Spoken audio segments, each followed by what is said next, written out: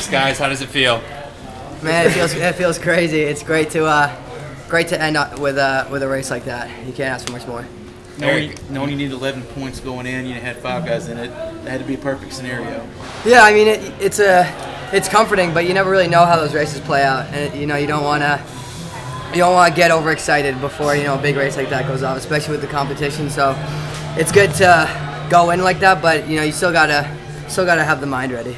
When those two runners break away early, what did Andy tell you? Um, you know, it's early in the race, so you don't you never know if they're gonna come back. Um, but you know, like I said, the competition's stiff, so you uh, they easily could have just kept you know kept uh, kept pressing. So Andy, I, I saw him say you know gradually make that make that jump, don't make it all at once, and uh, that's what I tried to do. Eric, you outkicked the guy to the right of you. Uh, first time you've ever done that, right? Yeah, it is. If you can if you can believe it. Um, yeah, that, this guy's had a hell of a hell of a, a day, let alone a weekend. Um, that mile was something special, some some pretty crazy. So um, I knew I had to had to help the team out, help help the guys out because you know everyone's running on tired legs. Edward, what, what's going through your mind on the home straight there at the very end? Uh, actually, as my coach says, just kind of, I wasn't even going for the win. My coach was like, just if you position, if you place top eight, it would be great to get points for the team. So that's what I was going, and I was trying to help my teammates so that he can come and take it.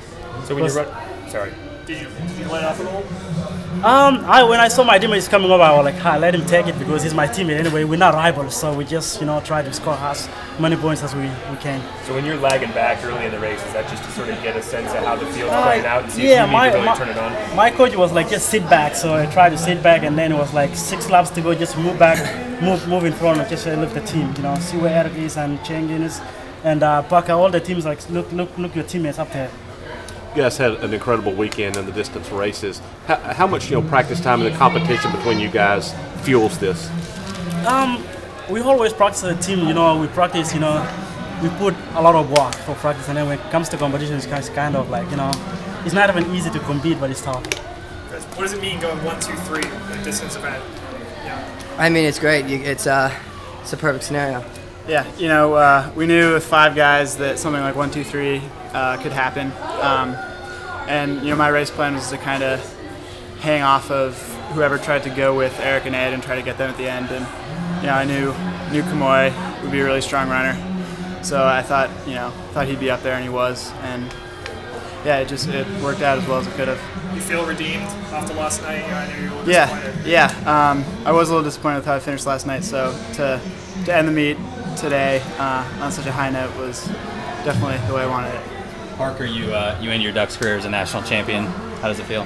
Yeah, it feels great. Um, and I ended up ninth in that race, but uh, I felt really good, and that's all you can ever ask is to feel good in a race. And I was as patient as, as I could, and I started going and getting excited, and I went up into probably fifth a few times, and tenth, then seventh, and um, just really happy with how I competed. So um, it would have been really cool to get to be on the stand with these guys and um, all that, but just uh, training with them and being in that race with them was already special enough, and um, just happy I could, you know, have a race that I'm really proud of at the end. Um, Edward, talk about your mile. You know, you kind of it's not rude. you kind of get a rush out of that last little surge. You bring the crowd on their feet. You know, it's it's very impressive in that race. Just talk about the mile and what you did there at the end.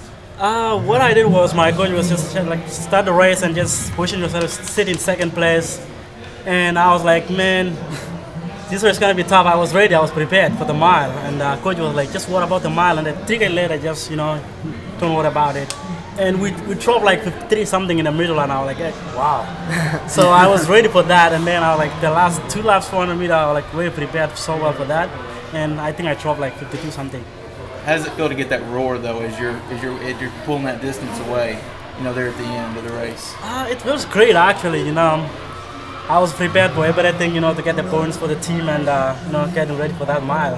Parker, can you speak to balance and kind of teamwork and individual race plan in this in this 3000? How do you guys balance that? Yeah, um, in fact, this was, that's a really good question for this one. Normally, it's a little bit more. Um, Andy has an individual plan for everyone and talk tells us what everyone else is doing. But Eric's really right, and, and so is Edward with their. Um, what they said is Andy really made a race plan this time that was, hey guys, how can we know individual things?